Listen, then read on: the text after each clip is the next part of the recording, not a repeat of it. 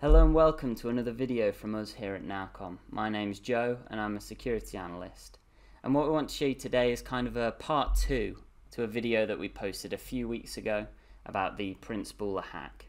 And how this is different is we want to do that hack against um, the Cisco Secure Endpoint product that we support and provide to our customers. Um, and how the it uses the latest security intelligence to defend against the latest attacks. Um, so my colleague Ryan here is going to demonstrate this for us now.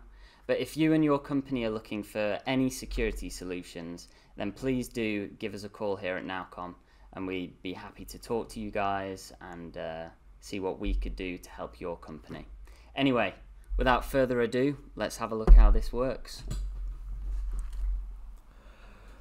Following on from our Print Nightmare demo, I am going to show you how having Cisco Secure Endpoint installed on a targeted device can prevent a successful attack.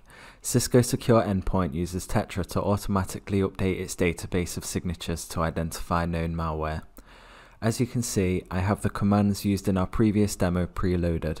If I go to our Cisco Secure Endpoint portal, you can see that I have recently had a clean scan on the target device.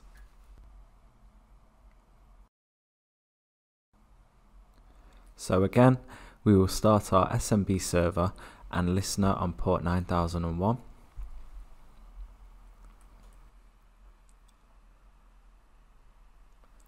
Once they are running successfully, I will run the Python 3 script.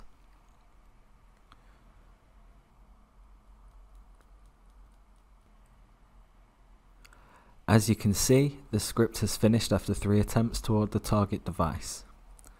If this attempt at the exploit was successful, we would see a command line return from the affected Windows target.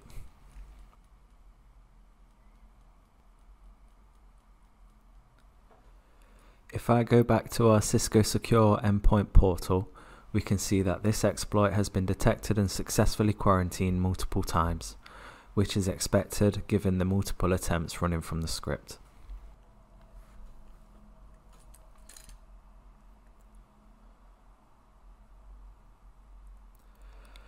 If you found this video interesting, please give this video a like. If you or your company are looking for cybersecurity solutions, please visit our website at nowcomm.com, select Now Secure and request a meeting with our expert technical staff.